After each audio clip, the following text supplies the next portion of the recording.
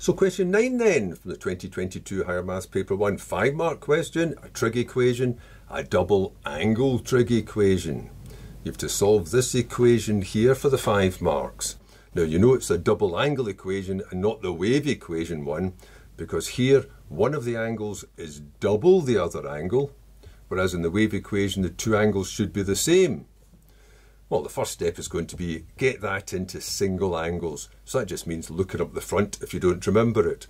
What does cos 2x turn into in terms of cosines to match this one with single x's? So you look up the front and there's only one you can find that does just cosines. And that's the one that goes 2 cos squared x minus 1. Now doing that gets the first mark. Although they do say in the marking scheme, it gets you the first mark, but only if there's some subsequent working. Well, there's going to be, isn't there? So effectively, just looking up the front gets you the first mark. The other thing is, but they're not penalised for this, you should really be putting these little degree signs in all the time. It's really quite tedious. It's nice that the question's in degrees because you're happier with degrees, but it's annoying because you have to meant or you, because you're meant to write down the little degree signs all the time. If you ever see a term like cos, cos x with a degree sign, it means it's in degrees. And if it's got no sign there, it means it's in radians. You don't even need to look at the side, you can tell just by looking at this. The handy thing though is the answer will just be a number. That's why it's just got x and there's no degree signs there, because x is just the number of the degrees. Anyway, you get the first mark just for copying that from the front.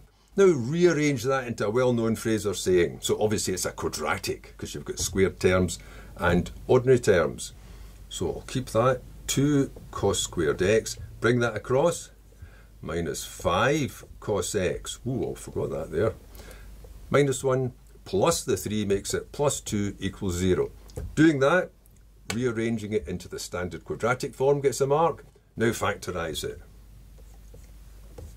Now it doesn't matter that it says cos x, it's just 2 variable squared minus 5 variable plus a number.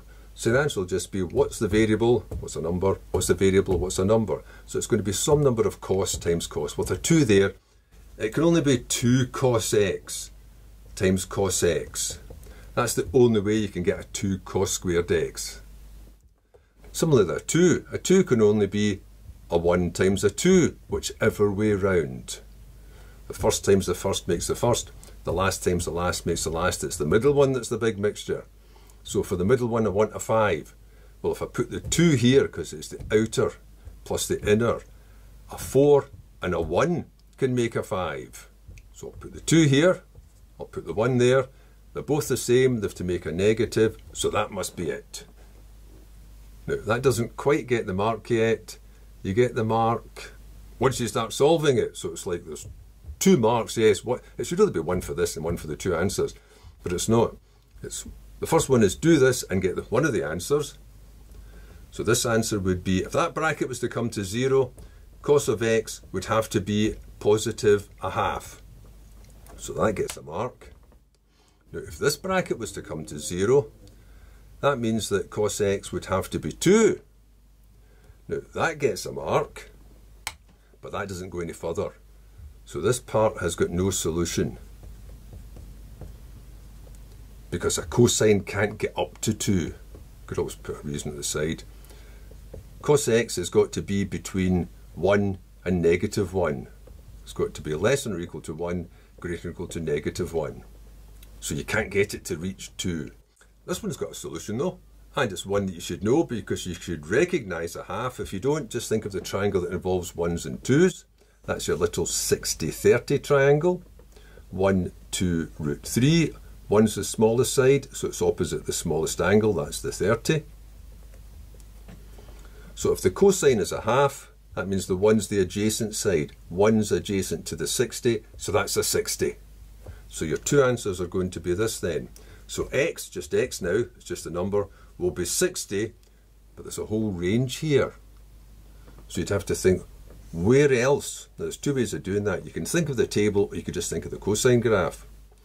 Where else could the cosine reach a value of a half? All sine tan cos. The acute angle is definitely 60. So one place is there. If it's to be positive, all sine, the cosine's only positive here, which means the other angle would have to be here. Those angles are the 60s.